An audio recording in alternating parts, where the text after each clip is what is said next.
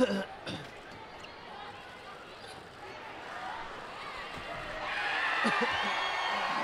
back and into action. Canada with the five-point margin with that good steady bit of control. And as response, again, Great Britain just keeping it within range. Their shooting percentage just faltering ever so slightly as this match is unfolding, but that fast break and well taken from Williams. Needing some support. The quick hands from Freeman have led this one up to Ouellet, and Ouellet will just put it in the bottom of the basket again. And she's now starting to really find her form in this matchup. Very powerful, but very quick. And her and Freeman are really the catalyst offensively for the respective sides. But this is just reaching in on the arm. The Canadians with the foul against it. It'll be an inbound as the referee, Celine Villard, is waiting for the players to get into position. 14 points as you see, the rebounds and the assists. So a well-balanced game from Ouellet. See the strapping on her shoulder. Reinforcement more than anything to feel comfortable. So much work going in, obviously, in those areas. Just wanting to feel as settled. And if there is any irritation in that shoulder,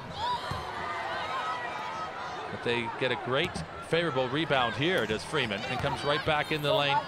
And the Canadians will get back into position. They're just trying to get the give and go into Love.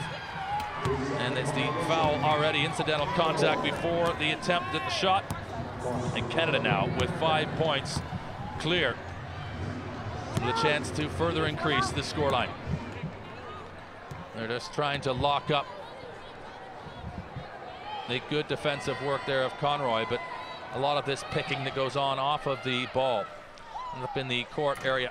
It'll be just a shot that can't quite get the distance there. And GB, these are the real swing points in the game when you're down by five, maybe can increase the lead to seven, and then you make a basket and try to bring it within three, but not with that particular look.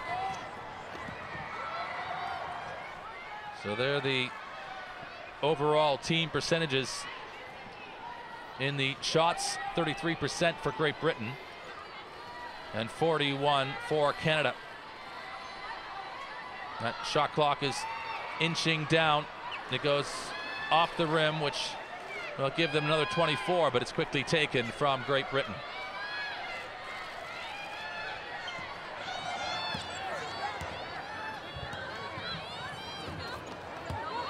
Poised, set to shoot.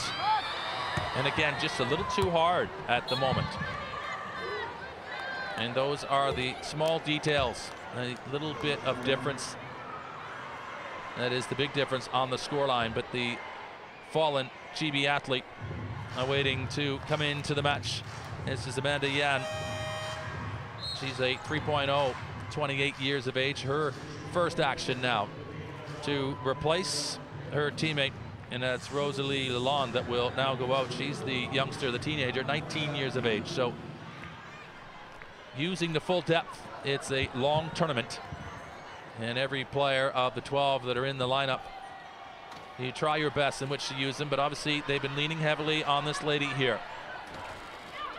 Janet McLachlan into the center key area. That one will go off the rim. And GB into the very reliable hands Freeman. She will bring it up, and it's to Love now. Love trying to spin around. She with the bandana. Very confident coming on is Love. And over to Conroy, and Conroy will rattle it around, but find a way in which to get it to the bottom of the basket.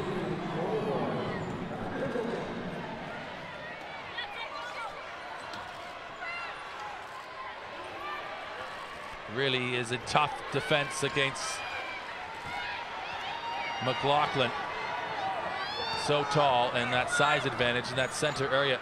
Aggressively coming forward and almost a speed a little too much there working against Great Britain. Canada pick up the leftovers. And can they convert this loose change into a real Canadian dollar here? Put this on the board. and get that five point margin again. Oh my, what a shot there. Almost just launched from the side winding position. And it's that trajectory sometimes that is what prevents maybe the ball having a chance to fall. It'll just hit the front of the rim and work away. So much there, a little bit more arc on that shot from Freeman and gives that ball a chance to go in, but it's just off the rim and out. Inside of two minutes now of this third quarter of play. And here comes Ouellet. She have the black headband. And she'll shoot from anywhere. If she gets a look, she is confident enough to stop and pop. Feeding it around to Yan. Yan with her first attempt at a bucket today. And Freeman down that far sideline is just going to work into the corner. So busy.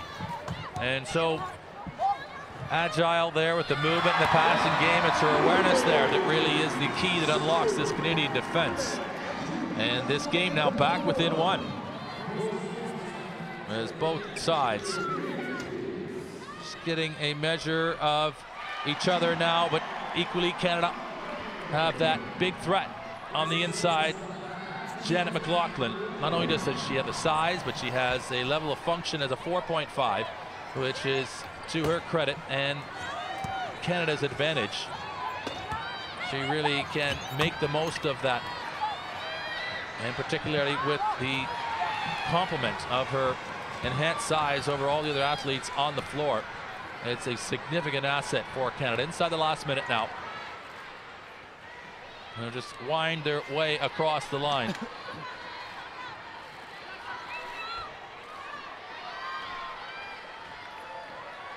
and it will be GB coming up with it for Freeman.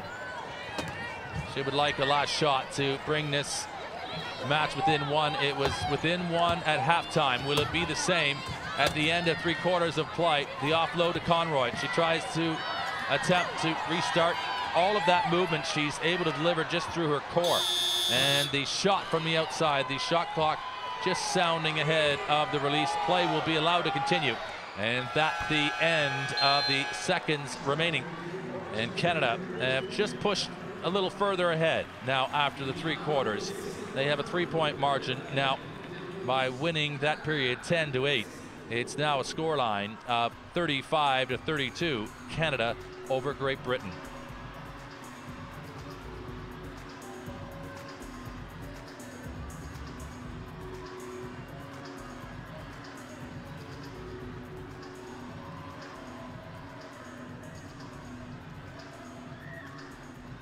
And there you see confirmation of it.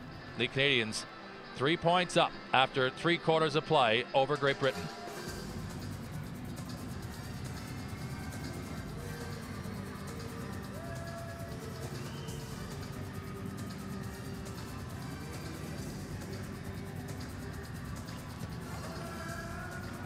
And the shooting percentage, still just the one free throw in the match, that belonging to McLachlan.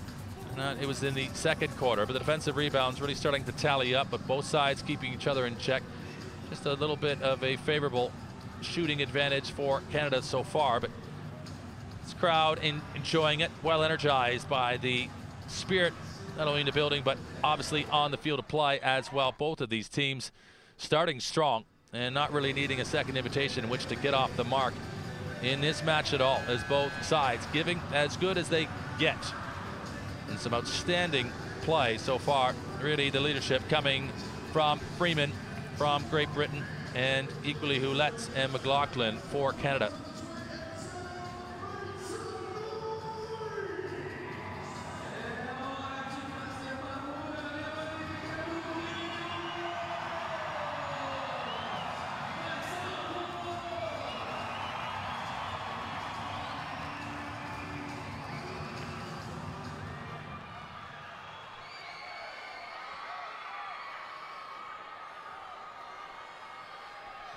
So wheelchair basketball coming into the Paralympic Games in 1960 in Rome.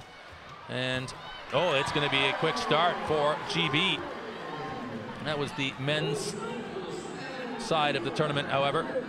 The women coming along within the decade later. But this is the advancement of the ball from Canada. Now a point up. And this has every feeling that it may require the possibility of extra time. That one point, that free throw shot, has been differential now for the best part of five, seven minutes in this match. And could that be a part to tell? It's the only free throw that has been taken. You expect that there will be more as we get to the closing stages of this match. But it is McLachlan who's down. She's up right now. And the foul called on the play, but obviously not in the course of shooting. And the Canadian coaching staff, Bill Johnson, the head coach, assistant coach, Michael Broughton, and we didn't see her there, but Katie Miyazaki.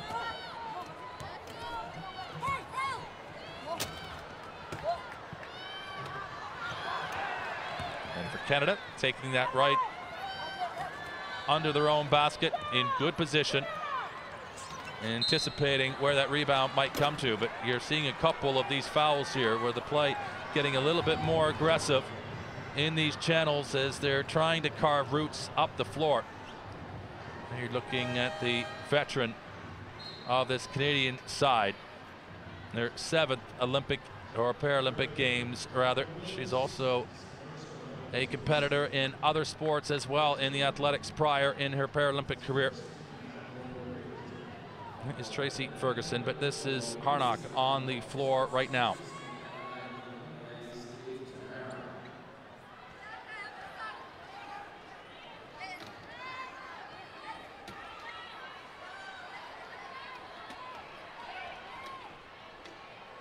The offload, the long pass in, does well. Such great body control. And if this goes too, that's just more impressive. But she can't quite get the roll of it. It's just off the front of the rim, but she will, in fact, get another 24 seconds on the shot clock. It just goes off. Steve's there on the bench for Canada. And this just needing to keep those two, two front wheels beyond the baseline, but Canada reloading. Ouellet with the offload. This much more confident and more fluid from Katie Harnock. Just trying to give this Canadian offense a third dimension.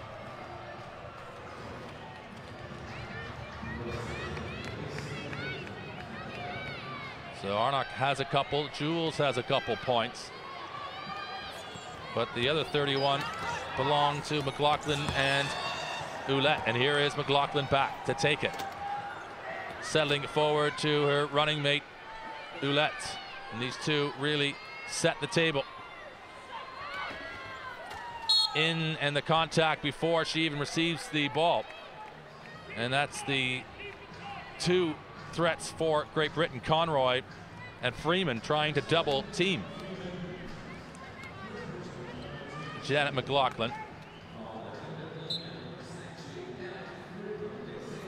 And there is the aforementioned Katie Miyazaki, the assistant coach for Canada on the bench there in the black glasses. And that will go off the rim. And will there have been contact prior to change this inbound? So much work now going on off the ball. And it is bringing about a little bit of urgency from both sides. Each play and each possession. Obviously building towards what will be the end result in this one in the fourth quarter of play now. And the player marking going on all over the court.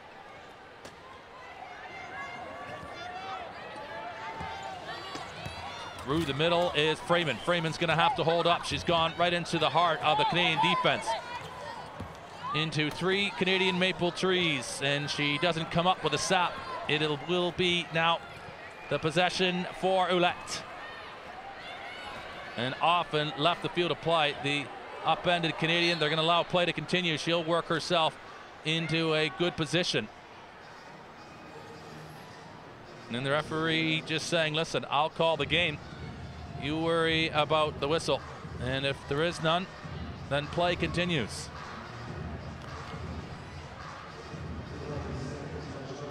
And Ouellet offers her apologies and It was important just to let everybody find their level in the opener and see just how things will be adjudicated. This, the feed in. Oh, that's a great score for Canada. A little bit of dimension as Jewells will put up her second bucket. That's Jamey Jewells now with four points in the match. And those are the small differences that could tally at the end. The one point difference is the only free throw we've seen from McLachlan in this entire match. And that's why it's not on even numbers for Canada because everything has been of a two point variety. This for Ouellet. To move it on.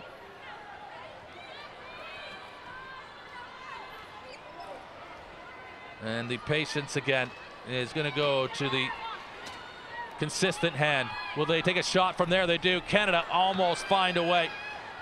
And the confidence that had come from the shot once prior from Jewells. She can't quite get the accuracy, but Conroy, she is very lengthy. She finds the angle, not only the height advantage too. You see the way her chair sits. It's also really poised for that type of play, being elevated and being a tall option for Great Britain. You see how athletic she is with her speed and so well coordinated to try and pull up and get that shot, but it's just a little too hard and off the glass. She'll get a couple shots now from the free throw line.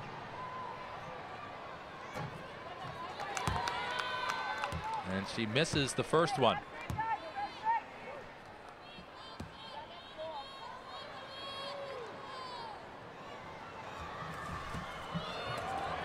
And it's picked up by Freeman. Not a lot of spin or rotation on those shots, but that really needed to be a basket for GB. They can't cash it in.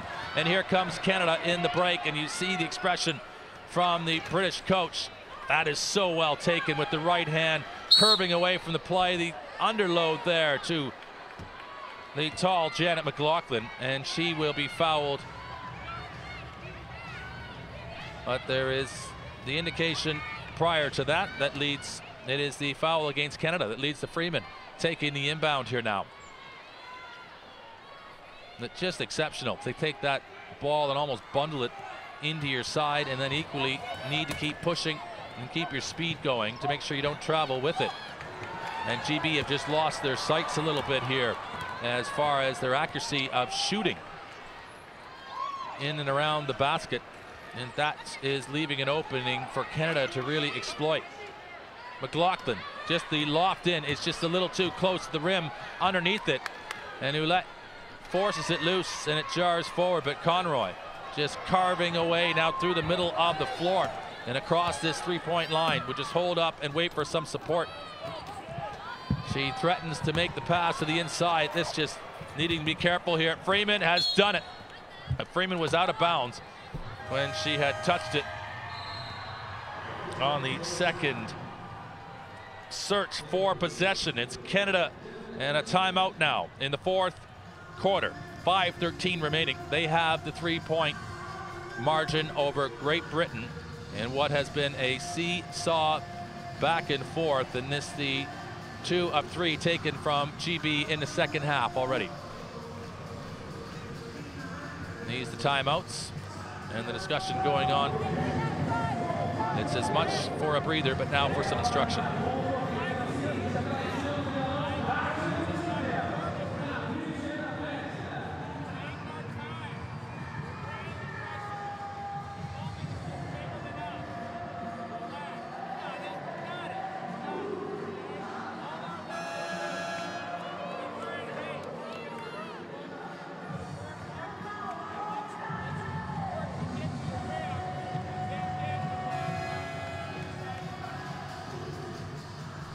Miles Thompson just talking about a little bit more offensive control from Great Britain, not rushing the shot.